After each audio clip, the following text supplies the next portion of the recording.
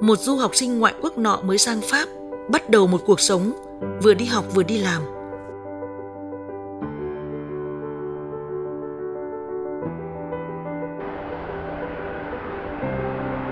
Dần dần cô phát hiện hệ thống thu vé các phương tiện công cộng ở đây hoàn toàn theo tính tự giác.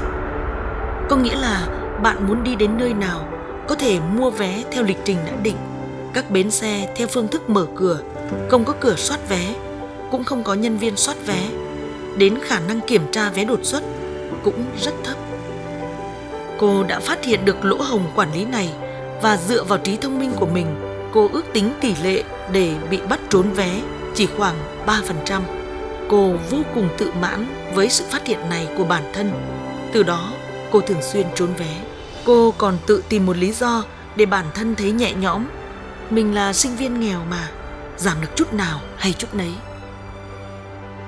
Sau 4 năm, cô đạt được tấm bằng tốt nghiệp loại giỏi của một trường danh giá.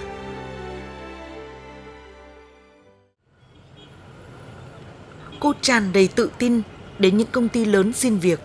Nhưng những công ty này không hiểu vì lý do gì, lúc đầu còn rất nhiệt tình, nhưng về sau đều từ chối cô. Thất bại liên tiếp khiến cô tức tối. Cô nghĩ nhất định những công ty này phân biệt chủng tộc, không nhận người nước ngoài. Cuối cùng có một lần, cô trực tiếp đến bộ phận nhân sự của một công ty, yêu cầu giám đốc đưa ra một lý do vì sao từ chối cô. Kết cục họ đưa ra một lý do khiến cô không ngờ tới. Thưa cô, chúng tôi không hề phân biệt chủng tộc, ngược lại chúng tôi rất coi trọng cô. Lúc cô đến phỏng vấn, chúng tôi đều rất hài lòng với môi trường giáo dục và trình độ học vấn của cô.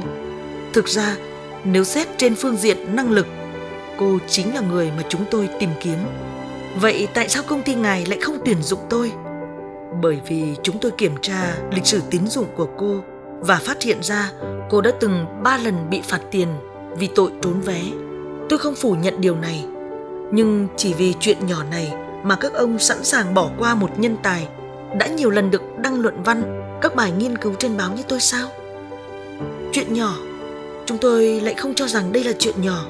Chúng tôi phát hiện lần đầu tiên cô trốn vé là khi mới đến đất nước chúng tôi một tuần.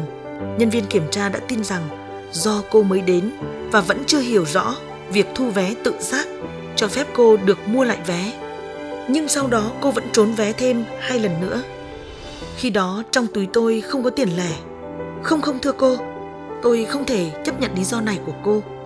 Cô đang đánh giá quá thấp IQ của tôi ư? Tôi tin chắc rằng trước khi bị bắt trốn vé, cô đã trốn được cả trăm lần rồi.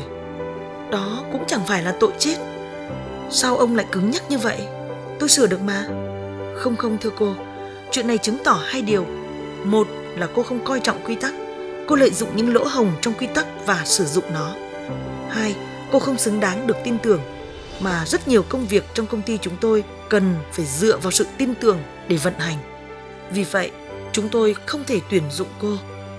Tôi có thể chắc chắn rằng tại đất nước của chúng tôi, thậm chí cả châu Âu này, cô sẽ không thể xin vào được nổi một công ty nào đâu. Đến lúc này cô mới tỉnh ngộ và cảm thấy hối hận vô cùng, nhưng đã quá muộn.